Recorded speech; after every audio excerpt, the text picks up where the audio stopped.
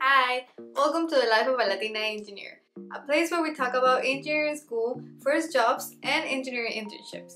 In today's video, I will be discussing about why I chose to start a small company, especially the company that I am working at, as my first job after college.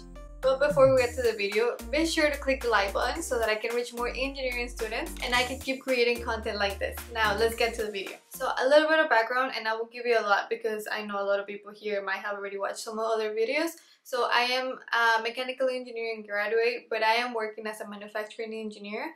I've been working in this position for a year and a half and I work at Method Electronics in the Chicago area.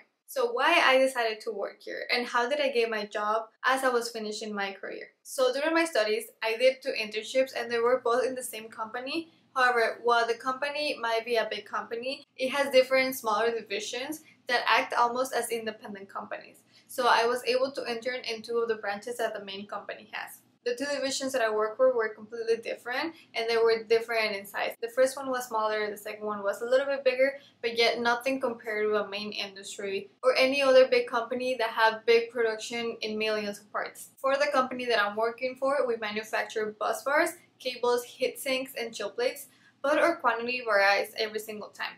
We can go up to create prototypes to make quantities of 5 or 10 pieces up to maybe a thousand and that is more rarely and typically in smaller parts.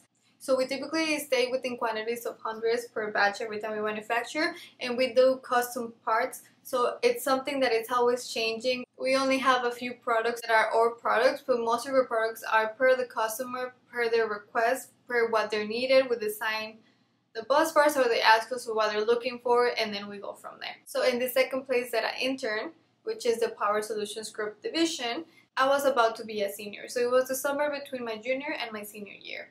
I interned for the whole summer and then I went back to school. Before I went back to my fall semester, after that summer was ending, I was offered a quality position. However, I declined it because I knew quality wasn't something that I really liked and I didn't want to start my first job with something that I wasn't so sure.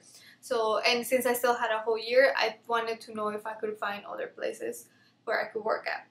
However, as I was getting closer to start my spring semester, they called me back and they asked me if I wanted to take a manufacturing position that had just opened. And this is when I took it. I knew it was something different than what I wanted to start. I wanted to be a design engineer, but however, I thought that manufacturing could help me become a better design engineer. So I actually started this position during my last semester of college. I was taking two classes at my college, so I was able to do about 30 hours as my engineering position and then do my other two classes the other days. So I was going three times a week to the company to work. Now, why did I take this position? Why I decided to stay with this company rather than selecting a different company that I was researching during my senior year? And that's what we're gonna get into now. So the first reason, which I pretty much already covered, is that had already interned there. So I knew what the company looked like, how people work together, more or less what was going to be expected of me. And I had a chance to evaluate whether it was a good fit for me or if it was something that I didn't like. In my case, I felt really comfortable. I liked the environment, I liked the place, and I just felt really comfortable where I knew that I would be happy starting up. It might actually be a smaller change than going to a complete new company, maybe a big company where I didn't know anyone and go through that change from going to college to starting a full-time position as engineering. So like I said, I already knew my coworkers. While I was an intern, I got to meet most of the engineers, which we actually earn a lot. We might be about 25 engineers in total, including quality, manufacturing, design, and I think that's it. For us to be a Power Solutions Group team, we actually don't have any electrical engineers except for I think one. So as I started my full-time position, I already kind of knew how all the paperwork worked. I kind of already knew how the system was in order to release part numbers, how the meetings went, and pretty much I was really familiar with it. So it was really easy for me to go back uh, actually, also when I was intern, I had some coworkers that would tell me like, "Oh, are you gonna come back here once you graduate? That'll be great," you know. And it was kind of funny that I went back and I didn't want to tell anyone. I didn't want them to know that I was going back. So it was, you know, I already had some friendships built in that company.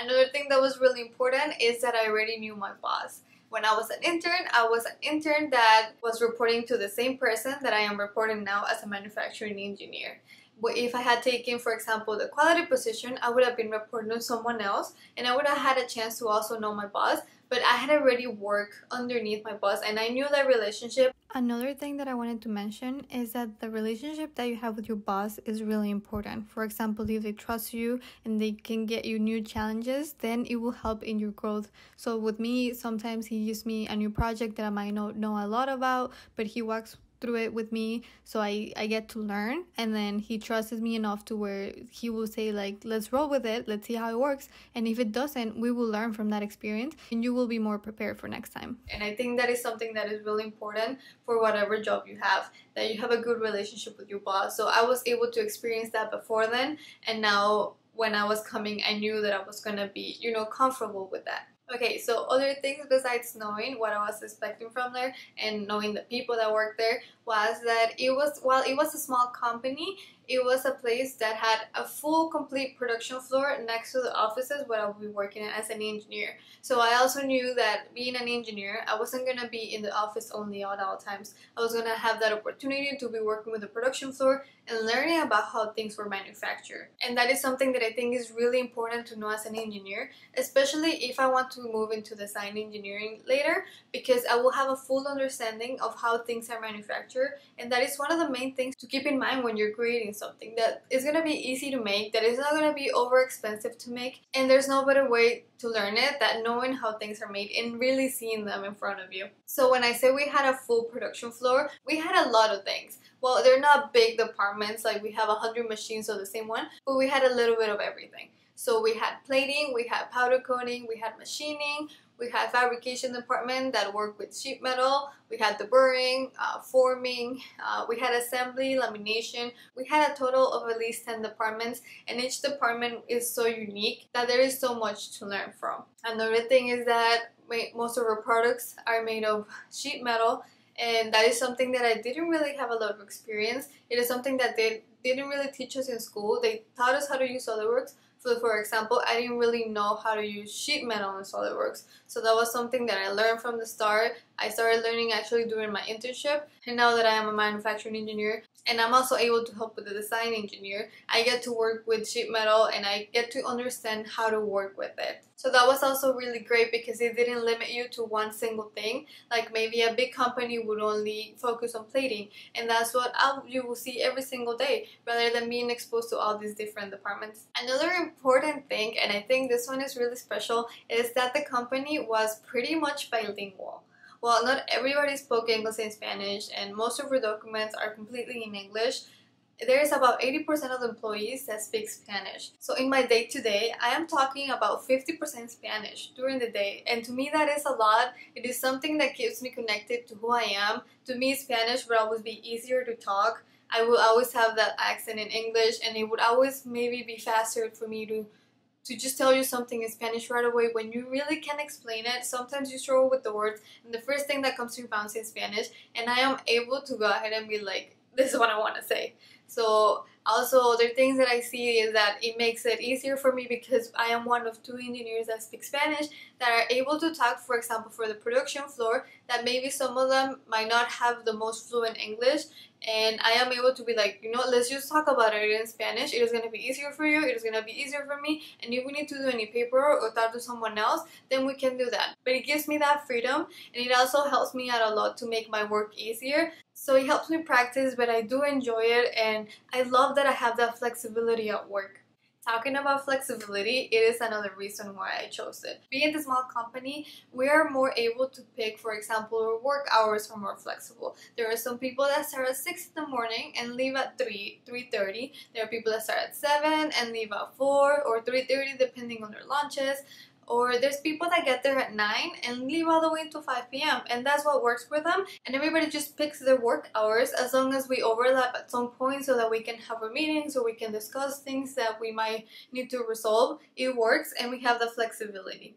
In my case, I like to start early so that I can start early. So normally I go during the morning hours. So we're usually at 7, but sometimes I get to be there at 6 when everybody starts in the production floor so that I can start at the same time if I need to help them with the project. But I can also stay later if we need to use some of the machines after production is done to do some testing or prototypes. So that is really cool that we get to do that. I also have more freedom with the projects that I do because it's a small company. We don't have as many we don't have as many engineers so even though I'm a manufacturing engineer I can help out with the design team which I actually do very often and that gets me to learn to maybe a position that I might want to take in the future so I enjoy and I take full advantage of the opportunity to be able to take on different roles other things that I have learned about are, for example, costing. I learned the whole process of how to cost new products, new bus bars that we that we manufacture in the company.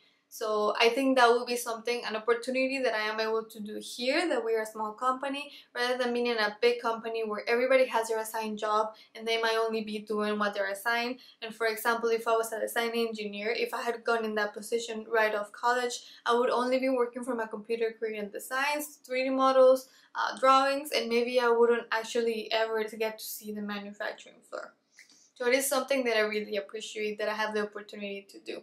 Now the last reason is that since we're not that many, I am able to get more responsibilities. As manufacturing engineers, we're only two. It is my boss and then there's me. And then our other manufacturing engineer is more of automation and electrical. So I do get that chance to be working with them every day, to be sharing some of the projects, to maybe take some of the responsibilities that maybe if we was a company where it was my boss and then there was like five of other people that were like me, it will be a little bit harder to be able to get those opportunities. So I feel like I'm always able to take on challenges that try to prove myself that I could take on bigger projects or just learning more and more to become a better engineer, to become more prepared for future positions or roles that I might take on in the future. So yes, I have loved that I have picked a small company. I am really comfortable with the position I am. I like the challenge that I can take on every day, the flexibility that I have. And that is something that I would recommend for an engineer that is just getting out of school to get the most experience that they can.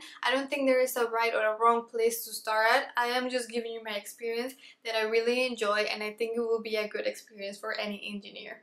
So let me know if you're interested in starting a small company or if you're already working, what company, what type of company did you start working at? Is it a big company? Is it a small company? How many engineers work with you every single day?